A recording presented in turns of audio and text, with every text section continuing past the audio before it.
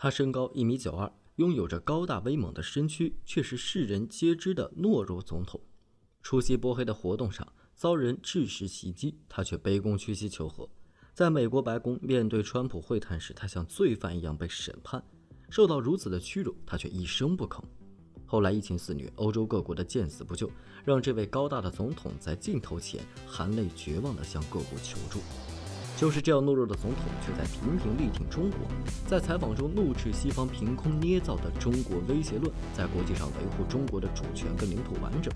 在北约联盟的威胁下，依旧和中国合作建高铁，三次亲吻中国国旗。究竟是什么原因，让这位懦弱的总统在面对中国时表现出巨大的勇气？今天，就让我们来了解一下这位中国的铁哥们——塞尔维亚最年轻的总统亚历山大·武契奇。武契奇一九七零年出生在贝尔格莱德一个富有知识分子的家庭，他的父亲是一名经济学家，其母亲是一名记者。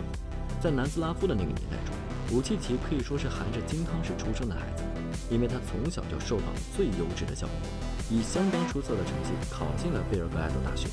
大学毕业后的武契奇并没有直接踏入政坛，而是到英国留学和经商。后来，因为国内的形势动荡，武契奇不得不回到南斯拉夫的波黑，继承了父母的事业，从事新闻工作。这也让他结识了不少的政界精英。凭借丰富的人脉资源和高大威猛的外表，年仅二十三岁的武契奇加入塞尔维亚激进党，并成为议员，开始了他的从政生涯。在前辈扶持下，武契奇很快在政坛积累人气。二零零八年，武契奇遇到了人生中最大的机遇——金融危机。武契奇追随其导师尼克利奇支持加入欧盟，受到广大人民支持。尼克利奇顺势大选成为总统，而武契奇也成为塞尔维亚总理。二零一七年，在其导师尼克利奇的提携下，武契奇顺理成章地当上了总统。然而，武契奇过于顺利的总统之路，却让他成了温室中的花朵。年轻的他当上总统之后，在处理国家事务中频频做出软弱之举，以至于他接近两米身躯的巨人让国民挂上了“软弱总统”的称号。武契奇出席波黑二十年大屠杀纪念日，遭遇当地居民抵制，在纪念仪式上，愤怒的群众趁乱投掷石头、瓶子等袭击武契奇，他在保镖的保护下撤离纪念仪式。在遭遇袭击后，回到贝尔格莱德，武契奇表示自己只是受到一点轻伤，没有大碍。他认为袭击者是有意而为的。实际上，武契奇眼睛破碎，身上多处伤痕。他身为一国元首，代表国家出席活动，竟意外遭到袭击，但是却没有勇气维护自己的颜面，甘受欺侮，选择息事宁人。不仅如此。武契奇在出席美国白宫解决经济交流发展的问题，被川普安排冷板凳，坐在狭小的小椅子上卑躬屈膝地坐着，受到了审判罪犯一样的对待。如此出丑的方式，武契奇依旧选择签下丧权辱国的合约。二零二零年九月，塞尔维亚总统武契奇受美国总统川普邀请到白宫与科索沃总统签订两国恢复经济协议。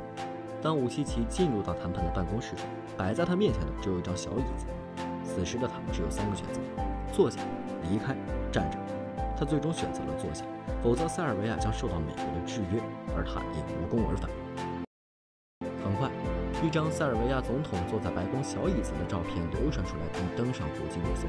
在这张照片中，正是武契奇在白宫中坐在小椅子上受审的照片。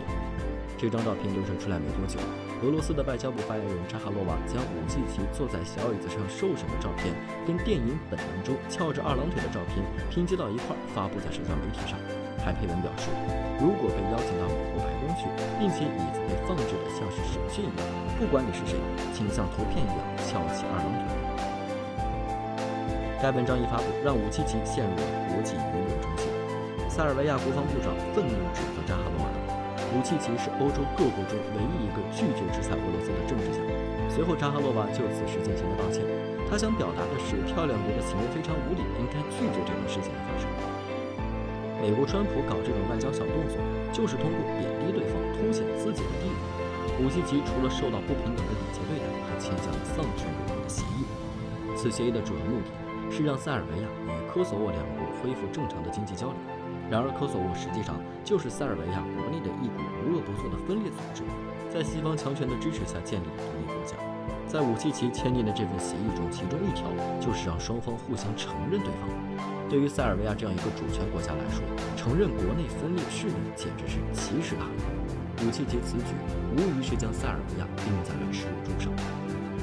除此之外，在川普突然提到将把大使馆迁至以色列首都耶路撒冷时，武契奇黑起了脸，急忙翻开协议，回头看着随众人员，就连记者提问武契奇塞尔维亚与科索沃未来的发展问题，都被美国内阁人员替代回答了。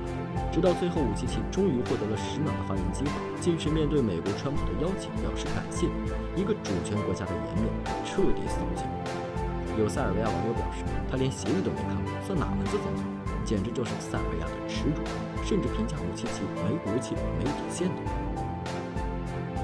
面对外界的争议时，武契奇回国后在记者采访中说道：“我不在意那张椅子，我甚至是没必要坐着，我可以站着、蹲着。”并且对协议中提及的不受信任的 5G 设备做出了回应，表示中国的设备是没有任何问题，不会拒绝使用中国的 5G 设备。就是这样一个没骨气的总统，在面对美国霸权主义时，表现出巨大的勇气来捍卫中塞两国的关系。塞尔维亚不仅是第一个对中国免签的欧洲国家，也是第一批支持“一带一路”协议的欧洲国家，素有“塞铁”之称。就在网上曾火爆的塞尔维亚总统武契奇，更是被网友称为“中国的铁哥们”。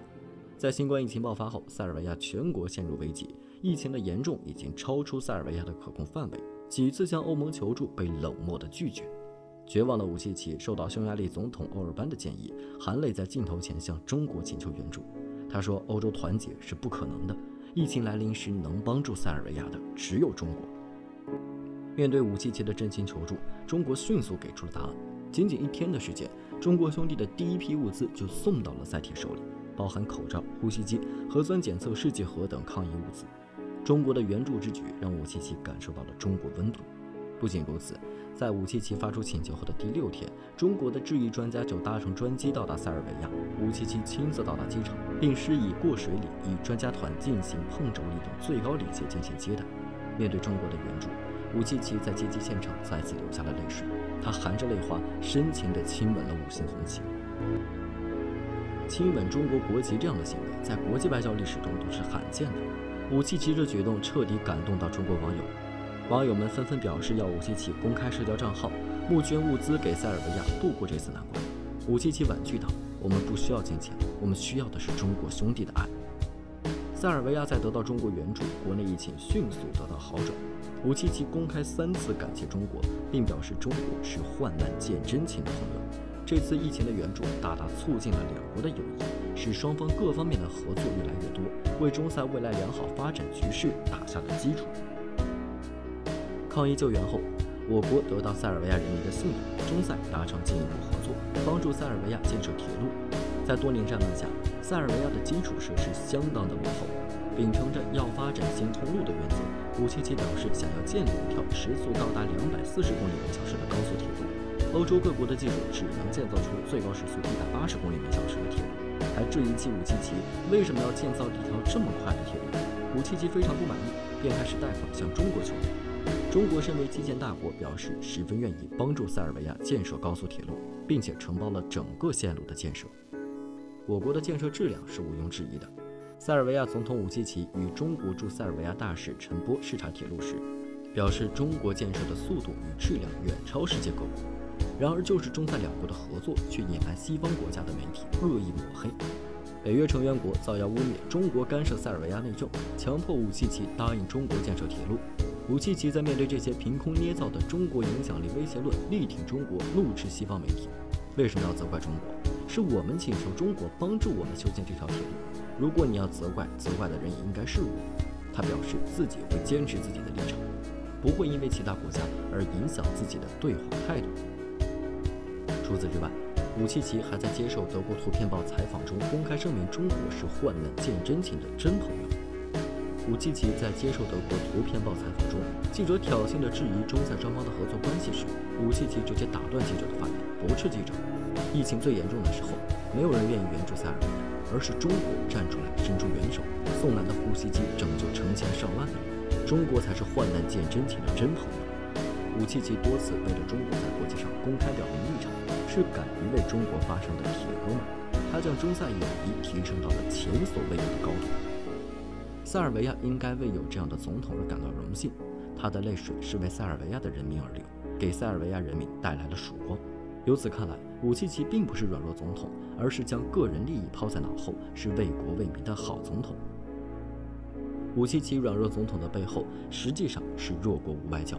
为了争取利益，武契奇甘愿自己受辱，只为国家换来经济增长，把国家利益放在个人利益面前。大丈夫能屈能伸，这才是真爷们儿。武契奇在外交上与多国周旋，为了祖国崛起，忍辱负重，替国家争取利益，一心为了国家民众的利益着想。救国之际，放下个人尊严，几次落泪求助。而在中塞友谊上，武契奇是个铁血硬汉。武契奇多次驳斥西方强权，力挺中国，在公开场合上都是三谢中国。多方灵活的外交手段，可以看出其远见与智慧。不知道你们是如何看待武契奇的？欢迎在弹幕和评论区探讨。如果想了解更多风云人物，可以到我主页观看往期视频，关注名人风云会，每天带你了解一位风云人物。视频制作不易，喜欢的朋友别忘了点赞、转发、收藏三连哦。